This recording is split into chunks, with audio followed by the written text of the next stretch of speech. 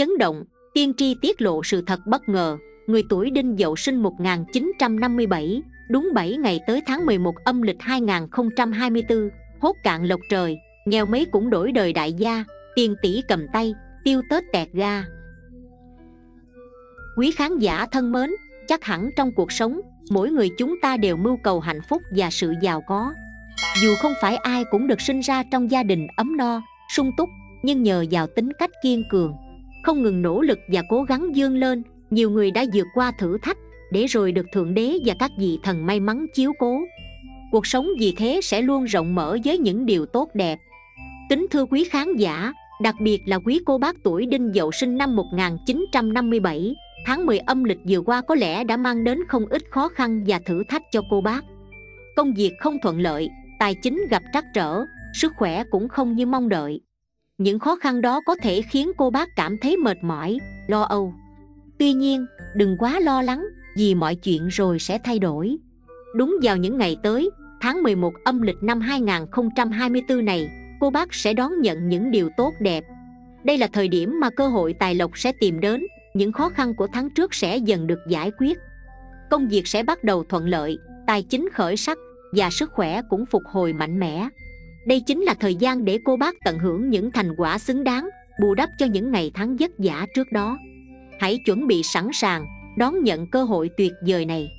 Cô bác sẽ cảm nhận được sự thịnh vượng và may mắn đang đến gần, là phần thưởng cho những nỗ lực không ngừng nghỉ trong suốt thời gian qua.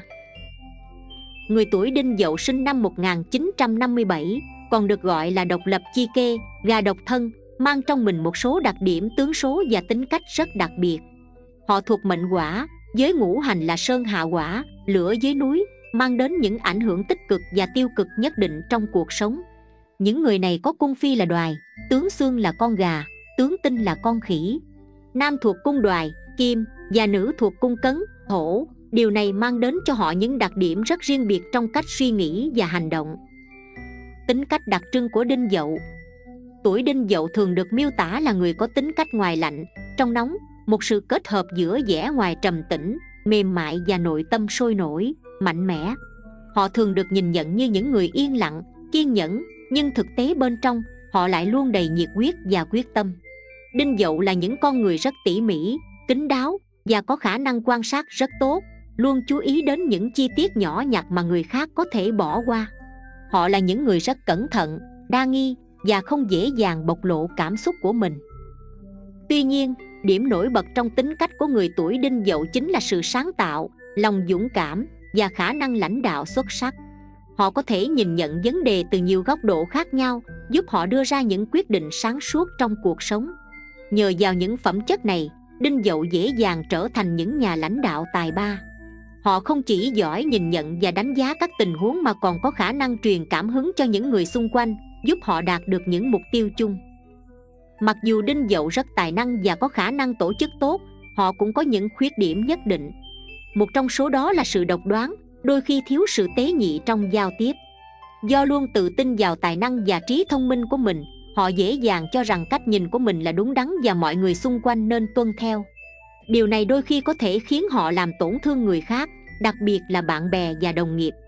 Tuy nhiên, với tính cách mạnh mẽ và quyết đoán đinh dậu lại không dễ bị lay động và luôn kiên trì theo đuổi mục tiêu của mình. Tính cách trong công việc và sự nghiệp. Khi nói đến công việc, đinh dậu là những người rất nghiêm túc và chuyên nghiệp. Họ không chỉ chú trọng đến thành công cá nhân mà còn quan tâm đến sự phát triển của cả đội nhóm. Họ là những người có khả năng làm việc độc lập rất tốt, tự giác và có trách nhiệm cao. Điều này giúp họ luôn đạt được thành tích xuất sắc trong công việc. Đinh dậu yêu nghề, tự hào về những gì mình làm và luôn đặt mục tiêu công việc lên hàng đầu.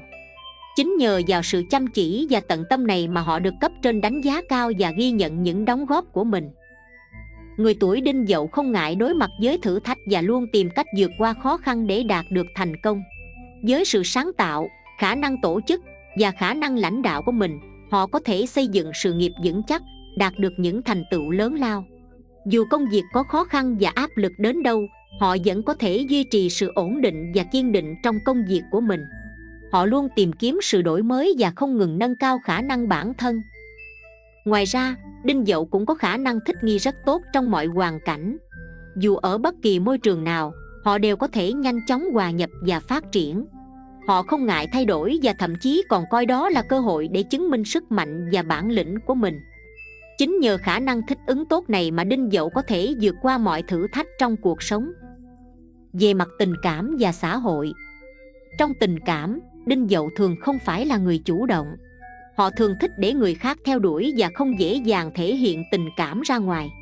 Mặc dù vậy, họ lại là những người rất lãng mạn và lý tưởng.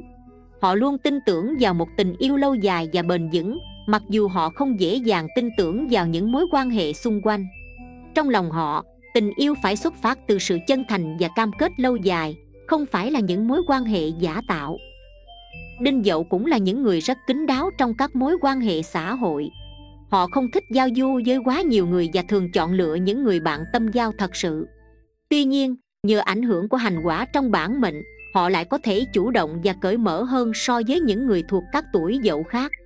Điều này giúp họ có thể xây dựng các mối quan hệ xã hội chất lượng và có ích. Vận mệnh của người tuổi đinh dậu. Theo tử di người tuổi đinh dậu có cuộc sống đầy thăng trầm. Tiền giận và trung giận thường không thuận lợi, họ gặp nhiều khó khăn và trắc trở trong cuộc sống. Tuy nhiên, khi bước sang hậu giận giận may mới thực sự đến với họ.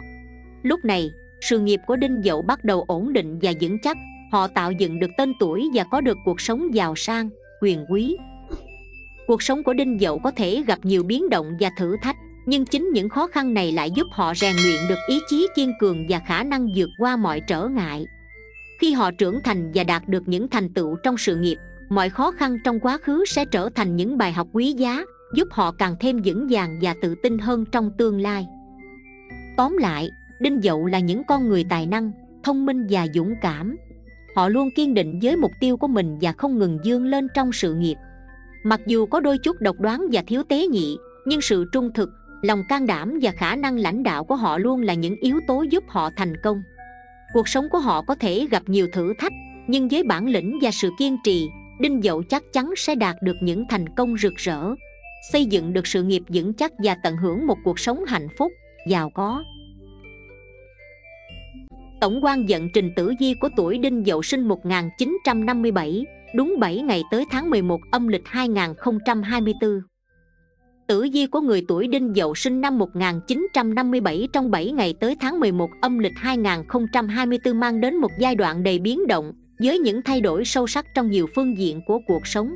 Đối với những ai đã và đang bước vào tuổi nghỉ hưu, đây là thời điểm quan trọng để nhìn nhận lại hành trình đã qua cũng như đón nhận những cơ hội mới trong khoảng thời gian này các mối quan hệ xã hội và công việc sẽ có những thay đổi rõ rệt dù đã nghỉ hưu nhưng bạn vẫn không thể thiếu đi những mối quan hệ trong xã hội.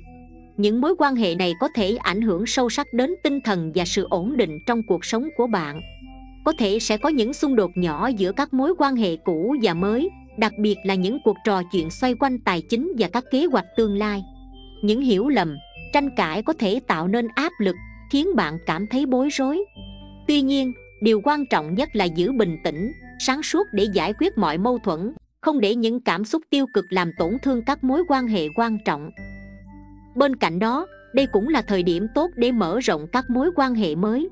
Những buổi gặp gỡ bạn bè, người thân hay thậm chí các mối quan hệ từ công việc trước đây có thể mang đến cho bạn những cơ hội quý giá.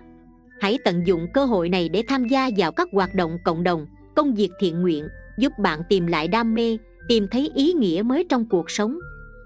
Về tài chính và sự nghiệp mặc dù vận trình tài chính không có sự thay đổi đột ngột theo hướng tích cực, nhưng ít nhất bạn sẽ cảm thấy sự ổn định hơn so với những tháng trước. Các khoản thu nhập từ lương hưu, bảo hiểm hay các khoản đầu tư cũ sẽ giúp duy trì cuộc sống ổn định. Tuy nhiên, trong giai đoạn này, bạn cần cẩn trọng với những khoản chi tiêu không cần thiết. Tránh để bản thân bị lôi kéo vào các quyết định đầu tư mạo hiểm hay vay mượn tiền, bởi những quyết định này có thể dễ dàng đưa bạn vào tình huống bất lợi thậm chí gặp phải những rủi ro tài chính không đáng có. Tổng thể 7 ngày tới tháng 11 âm lịch 2024 là một thời gian quan trọng để bạn nhìn nhận lại bản thân và cuộc sống. Đây không chỉ là giai đoạn của những thử thách, mà còn là cơ hội để bạn làm mới chính mình, mở lòng đón nhận những cơ hội, kết nối và sống trọn vẹn với những giá trị tinh thần. Hãy dũng cảm bước ra khỏi vùng an toàn để cuộc sống thêm phần ý nghĩa và phong phú tiếp theo sẽ là phần luận giải dẫn trình tử di chi tiết trên từng phương diện cuộc sống của tuổi Đinh Dậu sinh 1957. Về công danh, sự nghiệp của tuổi Đinh Dậu 1957 Trong 7 ngày tới tháng 11 âm lịch, người tuổi Đinh Dậu sinh năm 1957 sẽ bước vào một giai đoạn đầy thử thách trong sự nghiệp. Tử Di chỉ ra rằng bạn sẽ phải đối diện với một loạt khó khăn và áp lực khiến tinh thần làm việc trở nên nặng nề, thậm chí có lúc cảm thấy uể oải và thiếu tập trung. Sự nghiệp trong thời gian này không mấy lý tưởng khi bạn phải vật lộn với những trở ngại lớn, không dễ dàng vượt qua. Những khó khăn này có thể khiến bạn cảm thấy bế tắc, như thể mình không thể tìm ra được hướng đi rõ ràng cho công việc. Thậm chí đôi khi chỉ làm việc cho qua ngày mà không tìm thấy niềm đam mê hay sáng tạo trong công việc. Tuy nhiên, hãy nhớ rằng những thách thức mà bạn đang đối diện không phải là điều vô nghĩa mà là những bài học quý giá những trải nghiệm giúp bạn trưởng thành và mạnh mẽ hơn trong hành trình của mình. Nếu bạn muốn đạt được những thành công rực rỡ, những vinh quang mà bạn luôn mơ ước, thì không thể thiếu những khó khăn và thử thách như thế này. Những bước đi sai lầm, những cảm giác thất bại là những dấu mốc quan trọng giúp bạn nhận thức rõ hơn về khả năng của mình và sự kiên trì. Nỗ lực không ngừng nghỉ là yếu tố quyết định để dương tới thành công. Trong giai đoạn này có thể bạn sẽ phải đối diện với sự ganh đua từ những đối thủ hoặc tiểu nhân có ý đồ làm bạn suy yếu, nhưng đừng để mình bị tác động quá nhiều bởi họ. Những người này sẽ cố gắng tìm ra những thiếu sót của bạn để công kích, nhưng bạn hoàn toàn có thể tránh được những rắc rối không cần thiết bằng cách luôn làm việc cẩn trọng, chu đáo ngay từ đầu. Điều quan trọng nhất là đừng để những thử thách này làm bạn mất tinh thần. Hãy bình tĩnh, tự tin và suy nghĩ thật kỹ trước khi hành động, bạn sẽ vượt qua được tất cả đừng bao giờ quên rằng, bạn có khả năng làm chủ cuộc sống của mình. Chỉ cần kiên nhẫn và đi đúng hướng, bạn sẽ sớm đạt được những thành quả xứng đáng. Giai đoạn này có thể không phải là thời điểm thích hợp để bạn làm những bước tiến lớn, nhưng đừng vội vã thay vào đó, hãy lập kế hoạch rõ ràng, kiên nhẫn chờ đợi cơ hội, và khi thời điểm đến, bạn sẽ biết cách tận dụng tối đa để đưa sự nghiệp lên một tầm cao mới. Dù có thể gặp khó khăn nhưng sự kiên trì và tinh thần lạc quan sẽ giúp bạn tìm ra giải pháp thích hợp và qua đó bạn sẽ dương lên mạnh mẽ hơn bao giờ hết. Về tài lộc của tuổi Đinh Dậu 1957 Về phương diện tài lộc, trong 7 ngày tới tháng 11 âm lịch, người tuổi Đinh Dậu sẽ đối diện với một giai đoạn không mấy thuận lợi. Dự báo rằng bạn sẽ gặp phải những khó khăn trong việc kiếm tiền và quản lý tài chính thị trường kinh doanh hoặc các giao dịch có thể sẽ không đem lại kết quả như mong đợi, thậm chí có thể đối diện với nguy cơ hao hụt tài chính nghiêm trọng. Những vấn đề trong công việc có thể dẫn đến sự giảm sút lợi nhuận và ảnh hưởng trực tiếp đến tài chính của bạn. Công việc làm ăn có thể bị ảnh hưởng bởi sự thiếu đổi mới và sáng tạo, khiến bạn dễ dàng bị tụt lại phía sau so với đối thủ cạnh tranh. Cục diện tương phá trong tử vi báo hiệu rằng sẽ có những yếu tố ngoài tầm kiểm soát làm bạn gặp khó khăn trong công việc đặc biệt là việc phải đối mặt với những tiểu nhân cố tình phá hoại. Ngoài ra, trong khoảng thời gian này, bạn cũng cần phải hết sức thận trọng trong các giao dịch tài chính. Có thể sẽ có những người lợi dụng bạn để chiếm đoạt tài sản, hoặc bạn có thể bị lừa gạt trong các hợp đồng hay đầu tư. Vì vậy, bạn cần phải kiểm tra kỹ lưỡng mọi vấn đề trước khi quyết định, đừng để lòng tin bị lừa dối. Về chi tiêu, bạn cũng sẽ phải thắt chặt hơn trước, không thể tiêu xài thoải mái như trước kia vì tài chính của bạn sẽ không còn dư giả như mong đợi. Tuy nhiên, điều quan trọng là bạn không nên quá lo lắng. Mặc dù gặp phải khó khăn, nhưng tử di cũng chỉ ra rằng tình hình tài chính sẽ không kéo dài mãi trong tình trạng tồi tệ này. Những khó khăn hiện tại chỉ mang tính tạm thời, và nếu bạn kiên trì, vững vàng theo đuổi mục tiêu thì vẫn có cơ hội cải thiện tình hình. Tài vận sẽ trở lại khi bạn tập trung vào công việc, không bỏ cuộc giữa chừng. Thậm chí bạn có thể áp dụng phong thủy để cải thiện tình hình.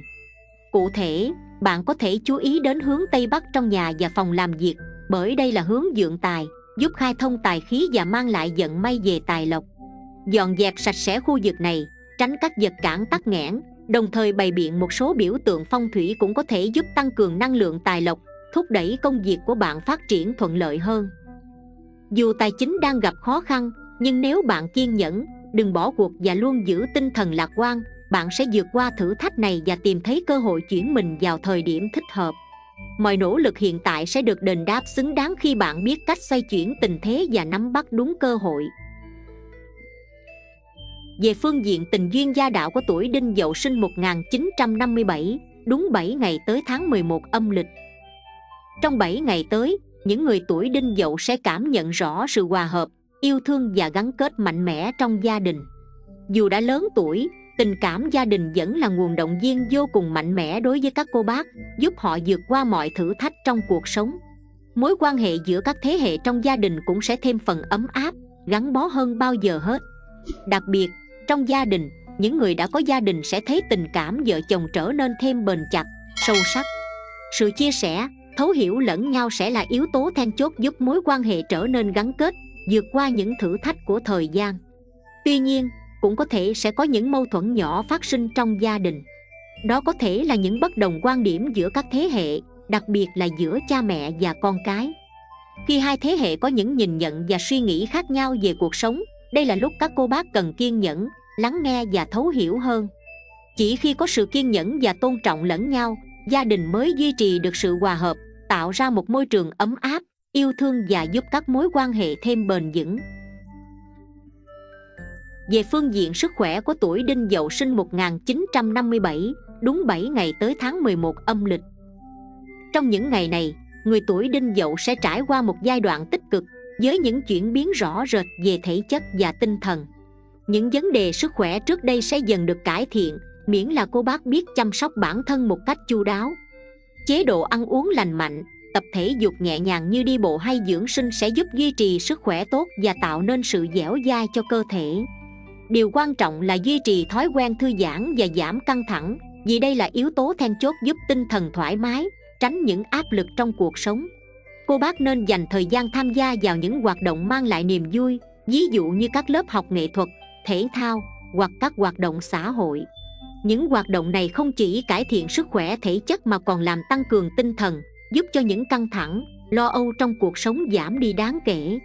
Tuy nhiên, trong giai đoạn này, các cô bác cũng cần chú ý theo dõi huyết áp và các vấn đề tim mạch. Nếu cảm thấy cơ thể không ổn, đừng ngần ngại thăm khám kịp thời để phòng tránh những biến chứng nghiêm trọng. Ngoài ra, việc điều hòa cảm xúc cũng rất quan trọng. Một tâm trạng vui vẻ, thoải mái sẽ giúp cô bác có được năng lượng dồi dào để vượt qua mọi khó khăn trong cuộc sống đồng thời giúp công việc và cuộc sống hàng ngày diễn ra suôn sẻ hơn. Khẩu quyết tháng 11 âm lịch. Để đạt được thành công trong tháng 11 âm lịch này, người tuổi đinh dậu cần có kế hoạch chi tiết để hoàn thành các nhiệm vụ. Việc lập ra những mục tiêu rõ ràng và cụ thể sẽ giúp các cô bác dễ dàng quản lý công việc và vượt qua mọi thử thách.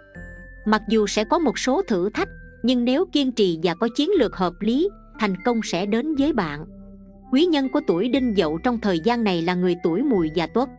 Những người này sẽ là nguồn hỗ trợ, động viên giúp bạn vượt qua những khó khăn, đạt được mục tiêu. Ngược lại, tuổi ngọ và thìn có thể là tiểu nhân, mang lại một số trở ngại không mong muốn.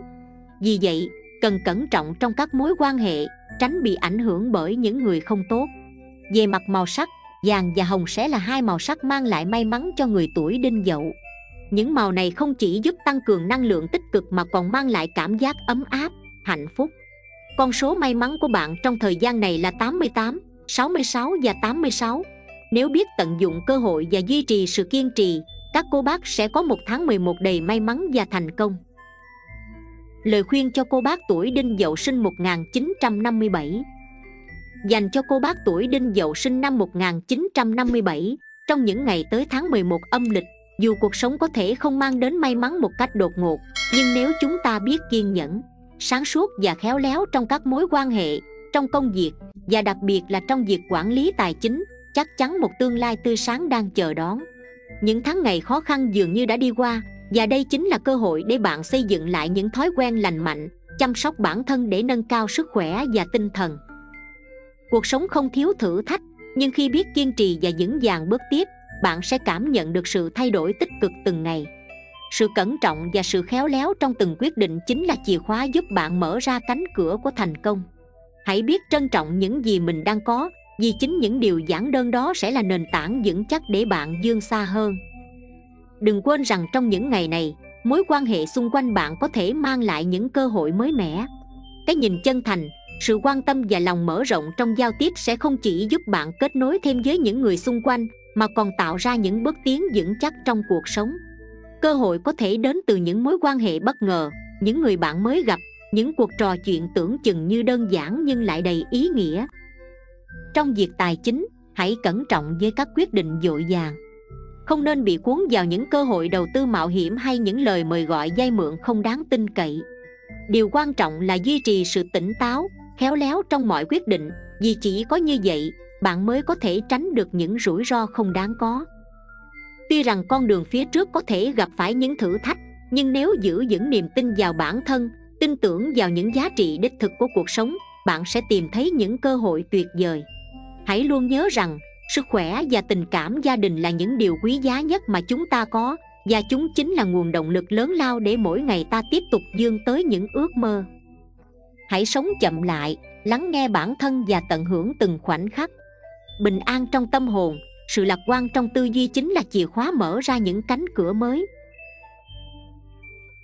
Quý khán giả thân mến, tiếp theo đây chúng ta sẽ đi sâu vào từng ngày trong 7 ngày tới tháng 11 âm lịch 2024 để cô bác có thể hiểu rõ hơn về vận trình của mình. Từ đó chuẩn bị tinh thần và hành động đúng đắn, tận dụng tối đa những cơ hội may mắn cũng như tránh được những rủi ro có thể gặp phải tử vi ngày mùng 4 và mùng 5 tháng 11 âm lịch. Trong hai ngày mùng 4 và mùng 5 tháng 11 âm lịch, bạn có thể cảm thấy một sự trì trệ nhất định trong công việc dù không gặp phải khó khăn lớn. Những dự định, kế hoạch cũ mà bạn đã dày công xây dựng bắt đầu đi vào quỹ đạo, nhưng thay vì sự hào hứng và hứng khởi, bạn lại cảm nhận một sự thiếu động lực khó tả. Công việc có thể không tiến triển như mong đợi, và bạn sẽ cảm thấy thiếu đi sự linh hoạt trong việc điều phối các kế hoạch đã định sẵn đây chính là thời điểm quan trọng để bạn nhìn nhận lại phương pháp làm việc của chính mình. Nếu có thể, bạn hãy dành thời gian để xem xét, điều chỉnh lại những chiến lược công việc, có thể là thay đổi cách tiếp cận hoặc tìm ra những phương pháp mới hiệu quả hơn.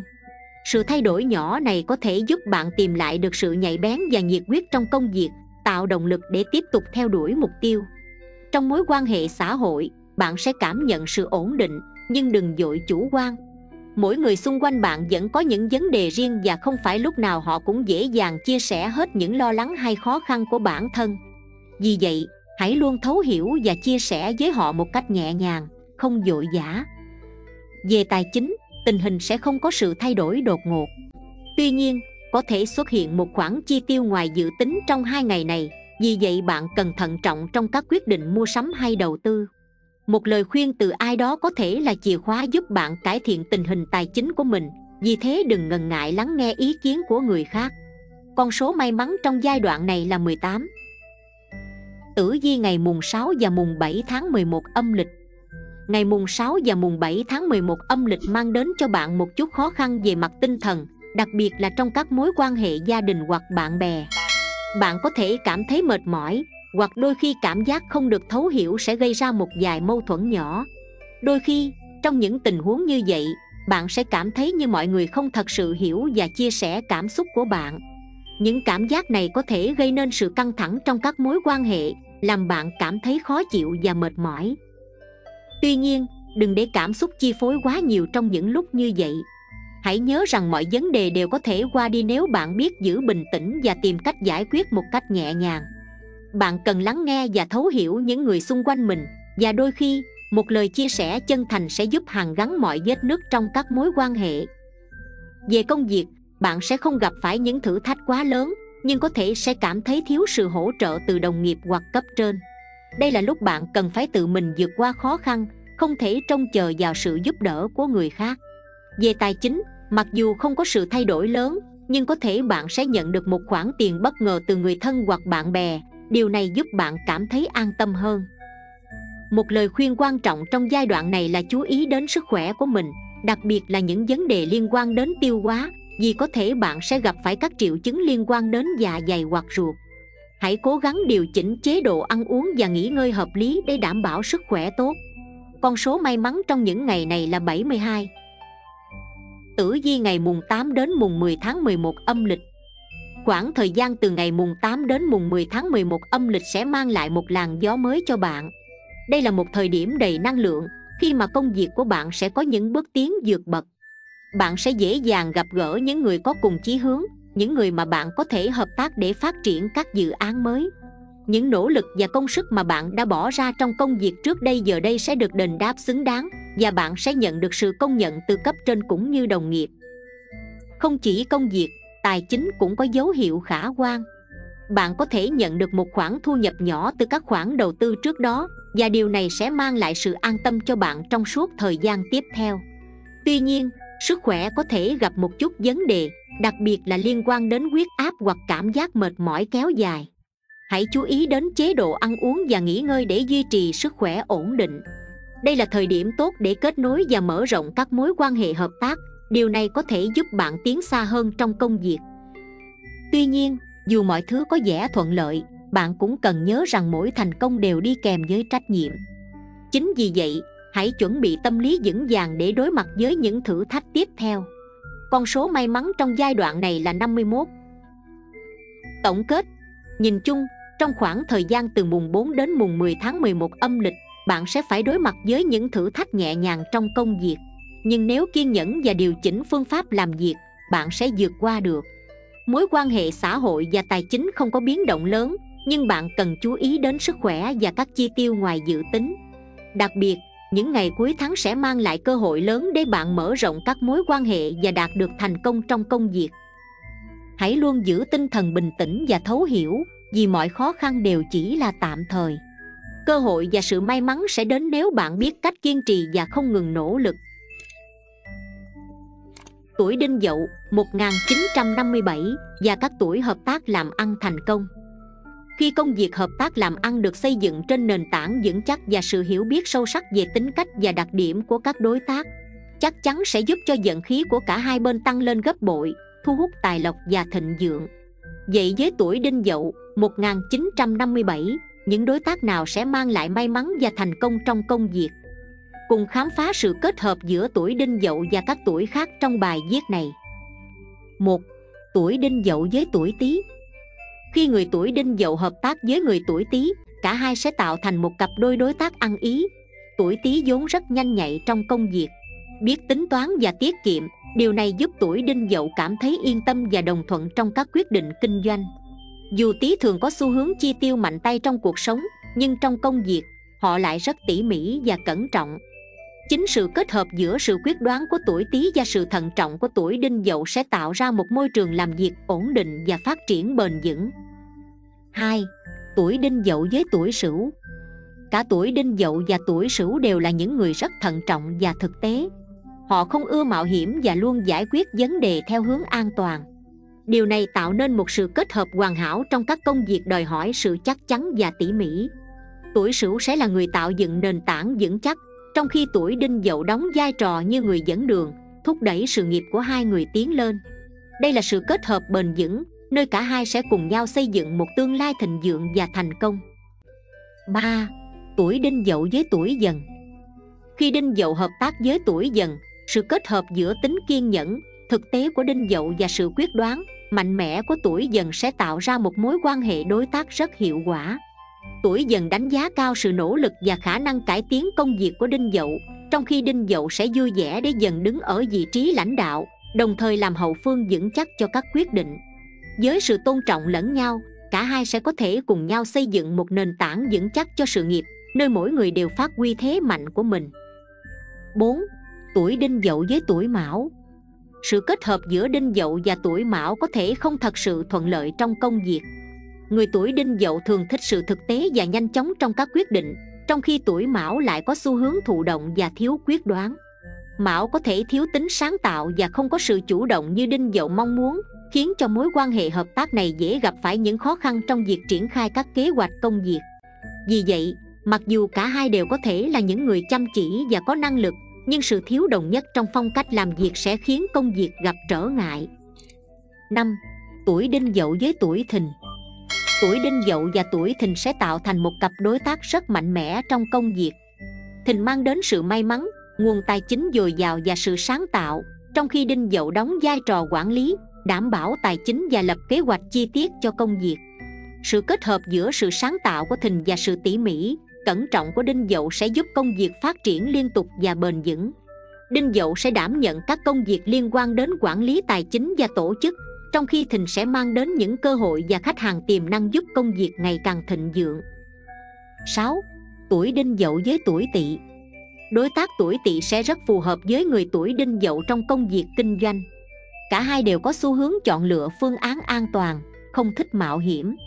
Tuổi đinh dậu chú ý đến từng chi tiết và rất giỏi trong việc quản lý tài chính trong khi tuổi tỵ sẽ là người đảm nhận các nhiệm vụ liên quan đến chiến lược và kế hoạch dài hạn sự đồng thuận trong quan điểm và cách làm việc sẽ giúp cho công ty của họ phát triển ổn định và vững mạnh. 7. Tuổi đinh dậu với tuổi ngọ. Sự kết hợp giữa đinh dậu và tuổi ngọ có thể tạo ra một mối quan hệ kinh doanh thú vị và đầy hứa hẹn. Người tuổi ngọ có sự chăm chỉ và nhiệt huyết, nhưng đôi khi thiếu kiên nhẫn và cần có một đối tác để giúp họ ổn định tài chính và định hướng công việc. Đinh Dậu với khả năng quản lý tài chính và sự kiên nhẫn sẽ là đối tác lý tưởng để giúp Ngọ phát huy hết khả năng của mình. Trong khi đó, Ngọ sẽ thúc đẩy sự sáng tạo và đưa ra những ý tưởng mới mẻ cho công ty, giúp công việc trở nên sôi động và phát triển. 8.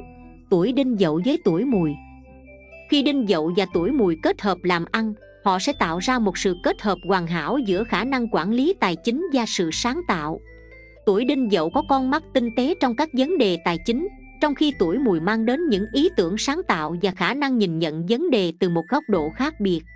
Tuổi mùi cũng được biết đến với sự may mắn và khả năng thu hút khách hàng, trong khi đinh dậu sẽ đảm bảo mọi kế hoạch tài chính và tài sản được quản lý cẩn thận. Cả hai sẽ tạo ra một môi trường làm việc hài hòa và thịnh vượng. 9. Tuổi đinh dậu với tuổi thân. Cặp đôi đinh dậu và thân có thể tạo ra một sự kết hợp rất hiệu quả trong công việc kinh doanh trong khi thân sẽ đảm nhận các nhiệm vụ cơ bản và quản lý nhân sự, đinh dậu sẽ tập trung vào việc quản lý tài chính và đảm bảo sự phát triển bền vững cho công ty. Sự khéo léo và khả năng ứng biến của tuổi thân sẽ bổ sung rất tốt cho khả năng lập kế hoạch và quản lý của đinh dậu, giúp công việc trở nên hiệu quả và không ngừng phát triển. 10. Tuổi đinh dậu với tuổi dậu. Khi hai người tuổi dậu hợp tác với nhau trong công việc, họ sẽ có một mối quan hệ đối tác rất bền vững cả hai đều có những đặc điểm chung như tính kiên nhẫn, sự cẩn thận và tính thực tế trong công việc. Tuy nhiên, vì không thích mạo hiểm và ưa sự ổn định, sự phát triển của công ty có thể diễn ra chậm nhưng rất vững vàng. Đinh dậu sẽ giúp quản lý tài chính và làm việc chi tiết, trong khi dậu sẽ tham gia vào các quyết định chiến lược quan trọng, đảm bảo sự ổn định trong công ty. 11 tuổi đinh dậu với tuổi tuất tuổi đinh dậu và tuổi tuất sẽ hợp tác ăn ý trong các lĩnh vực cần sự chăm chỉ và tỉ mỉ. Tuổi đinh dậu sẽ chịu trách nhiệm về tài chính và lập kế hoạch, trong khi tuổi tuất sẽ làm việc chăm chỉ và giúp đỡ trong các giao tiếp bên ngoài. Tài năng ngoại giao của tuổi tuất sẽ mở ra nhiều cơ hội mới, trong khi đinh dậu sẽ giữ vững nền tảng tài chính vững chắc cho công ty. 12. Tuổi đinh dậu với tuổi hợi. Sự kết hợp giữa đinh dậu và tuổi hợi sẽ rất thành công đặc biệt trong các công việc liên quan đến tài chính và khách hàng. Đinh dậu sẽ lo liệu việc quản lý tài chính, trong khi tuổi hợi đảm nhận công việc chăm sóc khách hàng và thực hiện các kế hoạch đã được lập sẵn, sự chăm chỉ và hướng ngoại của tuổi. Nhân sinh cảm ngộ theo lời dạy của đức phật, thay đổi cách sống, hạnh phúc tự đến.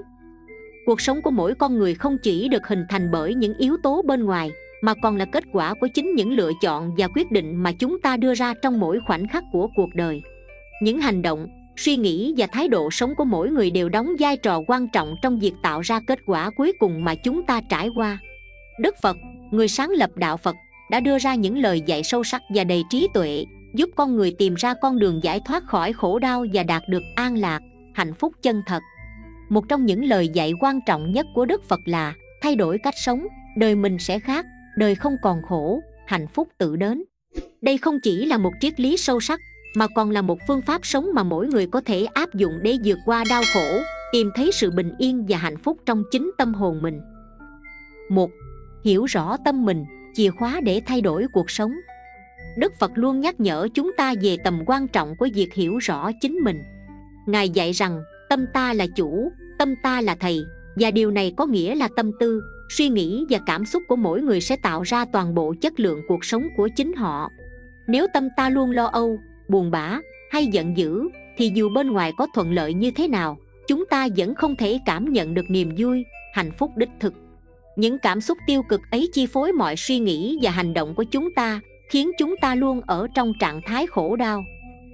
Vì vậy, để thay đổi cuộc sống, điều đầu tiên và quan trọng nhất là chúng ta cần thay đổi cách nhìn nhận và thái độ sống phật dạy rằng, nếu bạn muốn hạnh phúc, hãy từ bỏ sự dính mắc vào vật chất, đừng sống vì danh vọng hay sự ích kỷ. Khi biết cách lắng nghe và hiểu rõ cảm xúc của bản thân, nhận thức được những suy nghĩ tiêu cực và dần dần buông bỏ chúng chúng ta sẽ tìm thấy sự thanh thản trong tâm hồn.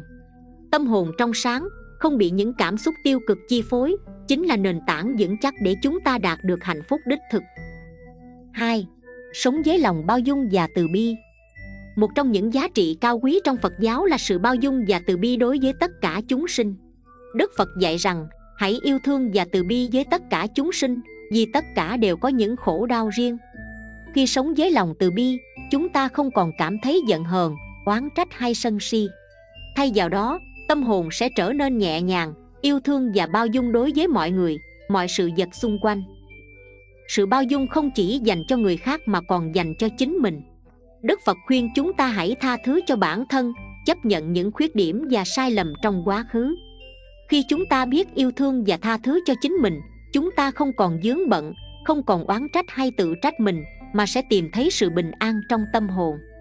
Chính khi tha thứ cho chính mình, chúng ta mới có thể yêu thương và tha thứ cho người khác. Sự bao dung này không chỉ giúp chúng ta giảm bớt khổ đau, mà còn tạo ra những mối quan hệ hòa thuận, gắn kết và đầy yêu thương những mối quan hệ đó là nguồn gốc của hạnh phúc trong cuộc sống, giúp chúng ta cảm nhận được sự ấm áp và sự kết nối với mọi người. 3. Buông bỏ và không luyến tiếc. Phật dạy rằng, dính mắc là nguồn gốc của khổ đau. Con người thường không nhận ra rằng chính những sự bám víu vào vật chất, danh vọng, tiền tài hay sự nghiệp đã làm cho cuộc sống của họ trở nên căng thẳng và mệt mỏi chúng ta luôn sống trong những ảo tưởng về một cuộc sống hoàn hảo, về những điều mà mình không thể có, và từ đó sinh ra những khát khao vô tận. Để thay đổi cuộc sống, chúng ta cần học cách buông bỏ những điều không cần thiết trong cuộc đời. Buông bỏ sự dính mắc vào những thứ phù du và không thực sự mang lại hạnh phúc lâu dài.